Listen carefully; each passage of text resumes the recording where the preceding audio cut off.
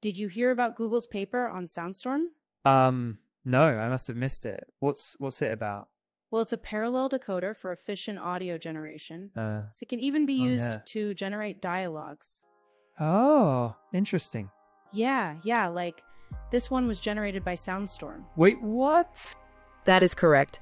The previous audio was indeed made by Soundstorm. Soundstorm is an efficient and non autoregressive audio generation model recently released by Google. In this video, we will dive deeper into the Soundstorm model. But before we do that, please like and subscribe if you haven't already. Also, let us know in comments if we missed out on any other model. The way generative AI for audio models work is to first convert raw data to a compressed format as a sequence of tokens.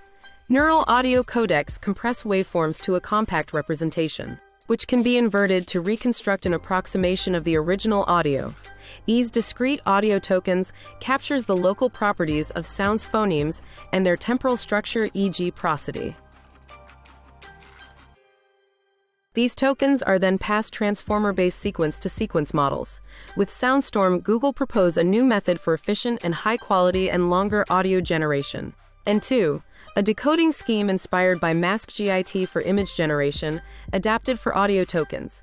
Compared to AudioLM's autoregressive approach, Soundstorm generates tokens in parallel. It produces consistent, high quality audio, maintaining voice and acoustic conditions.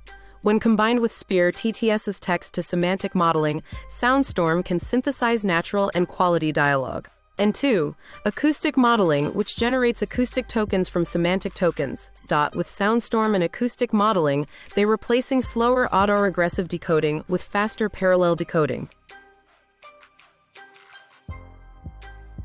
Internally, Soundstorm uses well-known bidirectional attention-based conformer architecture. But what is the conformer architecture? Conformer, as the name, combines elements from both convolutional neural networks, CNNs, and transformers to capture both local and global dependencies within a sequence. The conformer architecture incorporates convolutional layers to capture local patterns and positional information in the input sequence.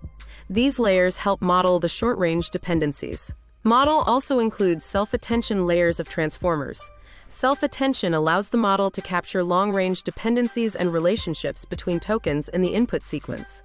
The model is trained to predict audio tokens generated by neural audio codecs, such as SoundStream, which are based on a sequence of semantic tokens produced by Audio LM. At each time step t, SoundStream uses up to q tokens to represent the audio using a method known as residual vector quantization, RVQ. Residual vector quantization is used for data compression and representation. It is particularly effective in capturing and encoding the residual or error between original signal and approximation. RVQ is used to quantize or discretize the audio signal into a sequence of tokens. These tokens represent specific segments or components of the audio signal. Thus, it divides the audio signal into smaller subsignals, and for each subsignal, approximate it using a set of representative vectors or code words. Soundstorm begins by masking out all audio tokens and gradually fills in the masked tokens through multiple iterations. Dot, the process starts with coarse tokens at RVQ level 1 and work till level Q. It samples tokens in a coarse to fine RVQ level wise order, employing a confidence based sampling, performing multiple passes in parallel. Lastly, uses greedy decoding for high quality audio. Soundstorm matches the quality of AudioLM's acoustic generator. Soundstorm produces audio 100x faster than AudioLM's hierarchical autoregressive acoustic generator with matching quality. Speech intelligibility is defined measuring the word error rate and character error rate of the generated audio after transcribing it. Soundstorm improves over AudioLM's acoustic generation easily. They use SoundStream codec that produces 50 frames per second and uses an RVQ with Q equals 12 levels, with 1024 codebook size per level with bit rate of 6000. They use the semantic tokens of Audio LM as conditioning embeddings quantized with k-means with 1024 cluster centers. The conformer is 350 M parameters, with 12 layers, 16 attention heads. The model dimensions are 1024, feed-forward dimension of 4096, convolution kernel size of 5, and rotary positional embeddings. During decoding, they use 16 iterations in the first RQV level and greedily choosing the tokens with the highest probability in the subsequent levels. This strategy results in 27 forward passes with the model to predict 30 seconds of audio. The model was trained on LibriLight with 10 epochs over the data. Spoken dialogue synthesis is an important application where maintaining speaker identities over multiple speaker turns and long time spans is of paramount importance. Something really funny happened to me this morning. Oh wow. What? I'm going to Istanbul for the Champions League final. That's awesome. I've always Who are you wanted to learn how to play the guitar.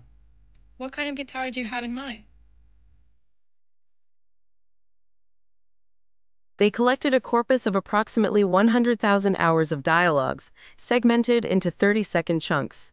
By running an off the shelf OSR system, they generated a transcript for each segment. To model the text to semantic token mapping, they train a BYT5 large transformer. As input, this model takes a byte level representation of the text and predicts non deduplicated semantic tokens. As input, it takes a byte level representation of the text and predicts non deduplicated semantic tokens. Decoding is done by temperature sampling, with temperature of 0.9 and top case set to 125.